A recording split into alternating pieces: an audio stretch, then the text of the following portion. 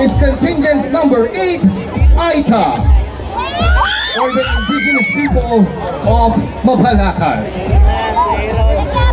The then lush, hilly, and virgin forest of Mabalacat was home to many Aitas of central Luzon.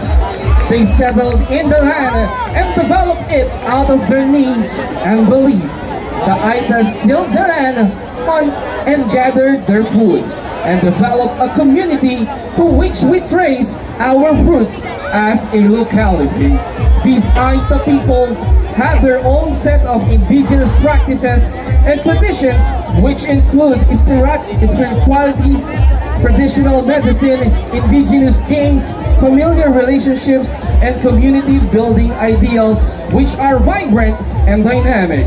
Today, Aitas are settled in their different barangays of Mabalacat City and had contributed so much to the development of local agriculture, local tourism, culture, and the arts. So everyone, once again, let's welcome on stage contingent group number 8.